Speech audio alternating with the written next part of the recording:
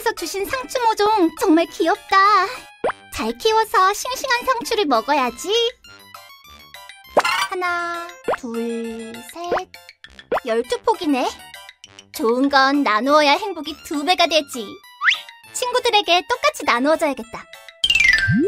시우랑 예지한테, 어, 희우까지 세 명에게, 아, 어, 여러 명에게 주고 싶기는 한데, 음, 그런데 똑같이 나누어 주려면 몇 명에게 줄 수 있을까? 시우야, 상추 모종 심었어? 응, 내가 직접 심고 키울 생각을 하니까 왠지 건강해지는 기분이야. 얘들아, 안녕? 3교시라 조금 출출하지? 너희들과 나누어 먹으려고 사과와 딸기를 가지고 왔단다. 우와, 맛있겠다. 자, 그런데 그냥 먹으면 아쉽지? 여기서 깜짝 문제! 사과 12개와 딸기 18개를 어떻게 남김없이 똑같이 나누어 먹을 수 있을까? 음, 잘 잘 모르겠어요. 자, 우선 먹으면서 알아볼까? 예지야, 오늘 물 주는 날이야? 오늘은 같이 물을 주네. 응.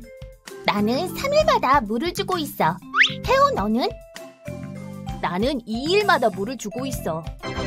우와, 예지야. 네가 심은 작물은 정말 쑥쑥 잘 자라고 있구나. 태호 네가 심은 작물도 잘 자라는 것 같은데? 응, 이제 금방 수확할 수 있을 것 같아. 그런데 오늘 우리가 같이 물을 줬잖아.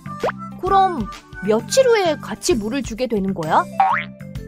글쎄, 같이 물 주는 날이 언제인지 궁금하구나. 나도 궁금하네.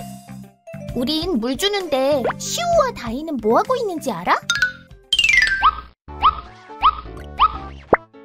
다희 너도 운동하러 나왔어? 응. 점점 줄넘기의 달인이 되어가고 있어. 나는 축구 선수 유망주다. 나는 자주는 아니지만 4일마다 운동을 하고 있는데. 난 3일마다 운동을 하고 있어. 잘 지키려고 노력하고 있지. 그래, 시작이 반이라고 했어. 화이팅!